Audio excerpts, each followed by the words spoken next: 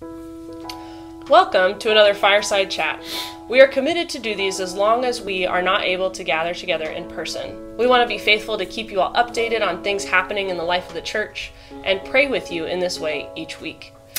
Just a way to update you all, we're going to continue to monitor the timeline that's laid out by the state of Kansas and Johnson County.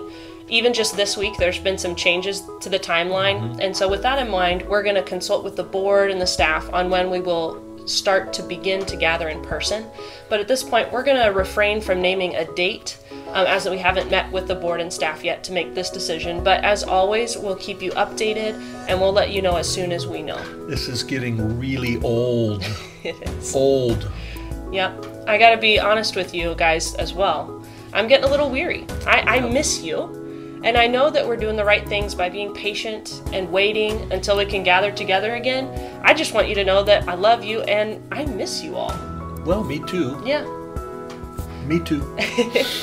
But there is some things that we're doing as a staff that we are really getting excited about. And I don't know, Pastor Chuck, when we first started here at Shawnee, we talked about our, our love and our passion for prayer. Is that Yeah. right? Yeah. And so, one of the things that you and I have always been committed to is having these 24 hours of prayer throughout the year. Right. And um, I don't know, those have just been some significant times for me in my prayer life, and, and probably for you as well. And so, one of the things that we're doing is trying to think about a creative way for us to have our 24 hours of prayer together. And so, we're still committed to doing that. It's just going to look a little different. Instead of us coming to the prayer room and signing up for shifts to do that, we're actually going to have it all online. There's going to be what? No, sometimes Yeah. people ask us, uh, why do we have to come to the church? Why can't I pray at home? And Right. that's true. You can pray at home, but there's a beauty of coming to the church and doing something out of the routine and really making a an effort Yeah. disrupting your routine, if you will, to come and focus on prayer. Well, we can't do that Right. like that, but um, we still can pray. That's right. And in the future, when we are able to, we'll do it together again. Right. Um, and so we are going to put 24 hours of prayer and worship online, and it'll be streamed live. It'll be on Facebook, on YouTube, and there will also be a special page on our website dedicated to that. It just doesn't seem like you can wrap your mind around that right now, but it's it is going to be really cool, and it'll be really simple to be part part of to participate. Yep, and so you can jump in anytime to participate in those times of prayer. So mark your calendars from May 30th, starting at 9:30 in the morning, to May 31st at 9:30 in the morning. There will be one tangible way you can come to the church and pray, and that's for an outside prayer walk. Six feet apart. That's right. That's right. We're going to have various pray- prayer stations set up with prayer prompts around the church that you can go and walk around.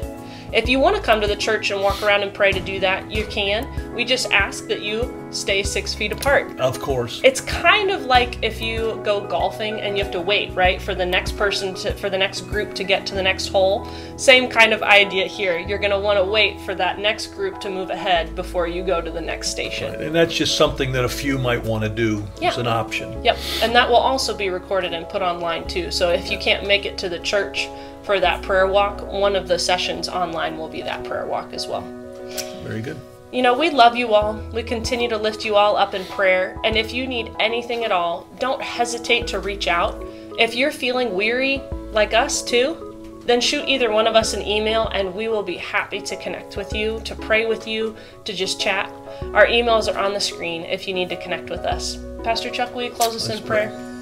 Thank you, Lord, for these uh, days that that we can seek you, that we can listen carefully to you. I pray that you would help us uh, to be people of prayer wherever we are, in our homes, in our cars, even at work when we're able to do that. I pr- ask that you'd help us to be people who are known for our prayer lives, and we, we will practice that uh, the day up leading up to um, uh, Pentecost Sunday. And so I ask, Lord, already you'd prepare our hearts and that this will be a time when we can draw near to you. Thank you for our sisters and brothers. Thank you for their patience. Thank you for their um, commitment to you. And I pray that you'd help us all to lean on you more than ever before. In the name of Jesus, our Lord, we pray. Amen. Amen. One more thing, Pastor Cara, I'd like to say. Yeah, He is risen. he is risen indeed. Amen. Amen.